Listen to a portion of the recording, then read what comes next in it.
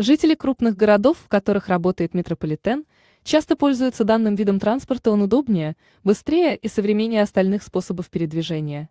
Но стоимость проезда является достаточно высокой для широких слоев населения, а потому властям региона приходится устанавливать льготы.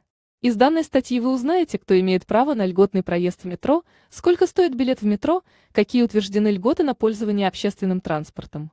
Транспортные льготы для пенсионеров Москвы. Важно! Действующие категории льготных пенсионеров не могут пользоваться правом бесплатного проезда при обращении к частным маршрутным перевозчикам и в частные службы такси. Пенсионеры могут продолжать пользоваться следующими видами льгот при поездке на общественном транспорте – Ветераны вправе бесплатно пользоваться услугами муниципального транспорта, автобусами, например. Граждане пенсионного возраста имеют возможность бесплатно добираться до медицинского учреждения на любом виде общественного транспорта. Бесплатный проезд можно осуществить и на транспорте пригородного значения, включая электрички. Последние новости про льготный проезд в метро. После вступления в силу редакции закона города Москвы от 3 ноября 2004 года номер 70, право на бесплатный проезд в метрополитене лишились военные пенсионеры, ветераны труда, граждане пенсионного возраста, не принадлежащие к льготным категориям. Лиц, все прочие льготники, ранее пользовавшиеся правом на бесплатный проезд в метро, сохранили льготу.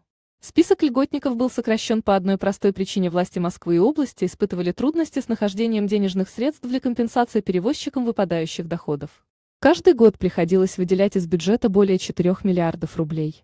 Кто имеет право на льготный проезд в метро? В данный момент на такую льготу, как проезд без оплаты на метро, имеют право следующие категории лиц. Участники и инвалиды Великой Отечественной войны, члены семей, несовершеннолетние дети, студенты вузов в возрасте до 23 лет включительно. Дети-инвалиды любого возраста, супруги, вдовцы, вдовы, родители иждивенцы, участников и инвалидов ВОВ, инвалиды 1-2, третьей группы инвалидности, дети-инвалиды, члены многодетных семей, дети-сироты, дети без попечения родителей, дети младше 7 лет, через ручные контрольные пункты, организованные группы учащихся московских учебных заведений во время каникул, по билетам для льготного проезда организованных групп, выданных в Департаменте социальной защиты населения. Москвы, члены Московской народной дружины, по проездному билету дружинника Московской городской дружины. Читайте также статью «Льготный проезд в Кирове в 2020 году». Стоимость проезда на московском метро в 2020 году. Важно! Плата за пользование метро была увеличена по решению правительства Москвы на 7,5%.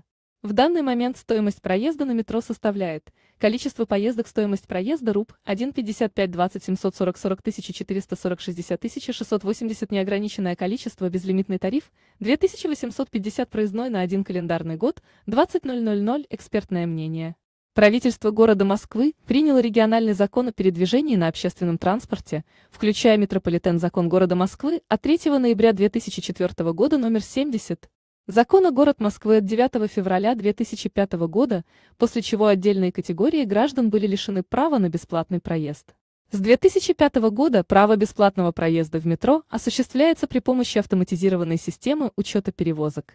Чтобы бесплатно воспользоваться услугами метрополитена, гражданин должен иметь при себе социальную карту, оформить ее можно в любом центре госуслуг «Мои документы». На выпуск, выдачу и обслуживание электронных карт уполномочен ГУП Московский социальный регистр. Читайте также статью «Льготы пенсионерам на проезд в электричках в 2020 году». Законодательные акты по теме.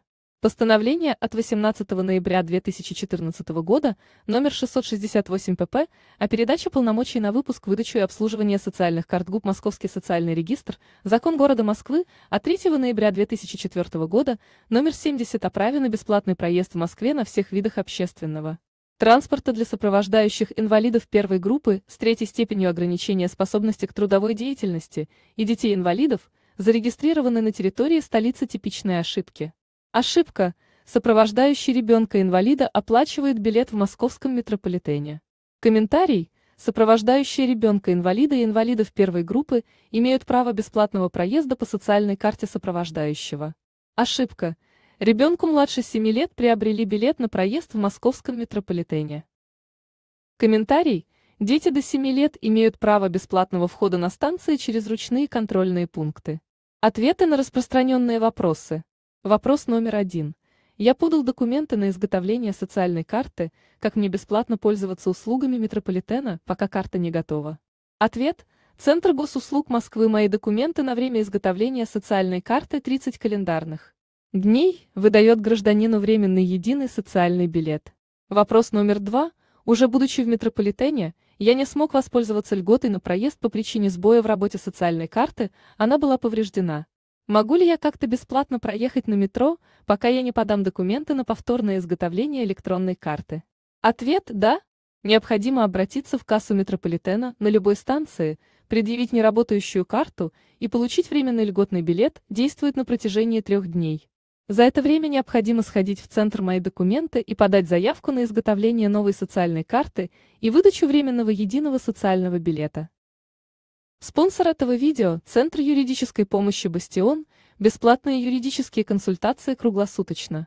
Телефон Центра 8 800 555 67 55, добавочный номер 769.